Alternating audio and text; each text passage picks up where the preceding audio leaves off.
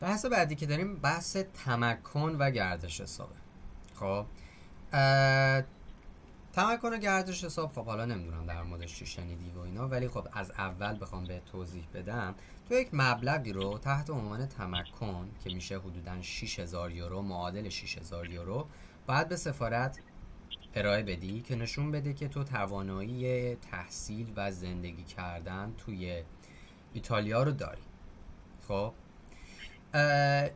این تمکنه می‌تونه در چند نوع قالب ارائه بشه. قالب اولی که از همه مهمتر هست و واجبه و باید حتما داشته باشیش یک حساب کوتاه مدت ریالیه. یعنی یک حساب کوتاه مدتی از سرپرست خانواده و یا مثلا بقیه اعضای خانواده به عنوان آپشنال می‌تونی ارائه بکنی که نشون بده که تو این حساب پول اومده تو این حساب از این پول خارج شده و این پول یک حساب یک مبلغی توش ریال در جریان و توش وجود داره. خب کار دیگه که می‌تونی ارائه کنی خیلی از بچه خب دوست ندارن که پول ریال توی حسابشون داشته باشن ارزشش بیفته و اینا. حساب ارزی ارائه می‌کنه خب این به عنوان آپشناله. در کنار حساب ریالی می‌تونن حساب ارزی هم ارائه کنن. خب و در کنارش سیستم و در کنارش حساب سپرده بلند مدت هم اگه بچه ها داشته باشن اون رو هم می‌تونن ارائه کنن. خب. این تمکن یه قسمت دیگه ای داریم گردش حساب. خب. تا چندین سال قبل اینجوری بودش که مثلا بچه ها می روز قبل سفارت یک مبلغ 500 600 میلیون یهو تو حسابشون میذاشتن.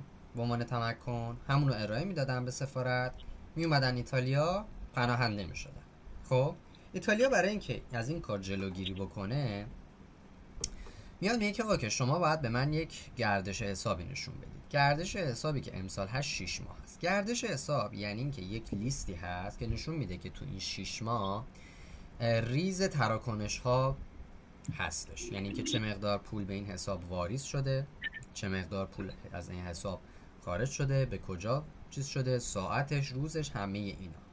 خب که نشون بده که این پولی که تو حساب شما اومده یک شبه نیومده یهویی نیومده ریز ریز اومده و برای خودتونه.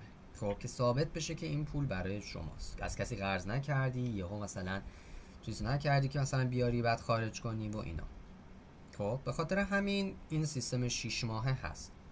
تو با توجه به اینکه ممکنه که مثلا طرفای مرداد ماه اینطورها بخوای بری برای سفارت برای کار سفارتت بری خب خیلی بهتره که از الان کاراتو شروع با. از الان حواست باشه که به گردش حساب حواست باشه. یعنی به تمکن تو گردش حساب حواست باشه. چجوری حواست باشه؟ می‌تونی چند تا کارت هممون خب چند تا کارت و حساب داریم. بیایم ببینیم که خب کدوم یکی از این کارت ها بیشتر ازش استفاده میشه. رشد کدومش بهتره؟ توش چه پولی چقدر پول هست؟ و اینها رو انتخاب کنی یا یک دونه رو به عنوان اصلی در نظر بگیری. و خب می‌تونی چند تا حساب رو داشته باشی. می‌تونی سه چهار تا حساب ارائه بدی. ولی خب یک دونش رو به عنوان اصلی حالا بقیه رو به عنوان optional.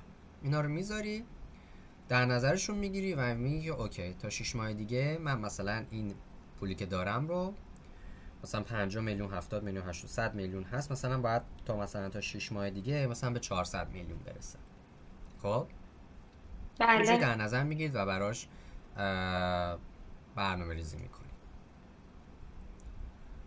وقتی هم که مثلا تو مثلا یک اسفند مثلا می‌خوای بری سفارت از یک هفته قبلش تا روز سفارت تو این هفت روز وقت داری که این چیزه رو بگیری این گردش حساب و تمکنه رو بگیری تمکن و گردش حساب جفتش باید از یه حساب باشه ها خب یعنی تو تمکن بله. مثلا از حساب A می‌گیری گردش حسابش هم از همون حساب A باید بگیری نباید بری از حساب دیگه ای باشه قاعدتا.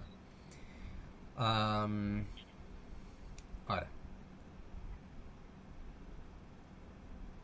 خب در مورد این سوالی داری؟ نه سوالی ندارم. پس اولین کاری که می‌کنی اینه که باید با دانشگاه ارتباط برقرار کنی زبان تو okay کنی و حالا بعد اینکه زبان تو okay شده و دانشگاه بهت گفت باید چیکار بکنی برای apply و اینا هم اقدام می‌کنی. بعدش میفتی تو خط حالا کارهای ویزا و کارهای بورس و اینا. ولی از همه مهمتر اینه که الان زبان رو okay کنی. چون ببین زبان آیلتس حالا بخوام بهت بگم الان دیدی اوضاع مملکت چجوریه دیگه؟ یا میان میگن کلا آیلتس نداریم. چند وقت میشه همینجوری شد دیگه.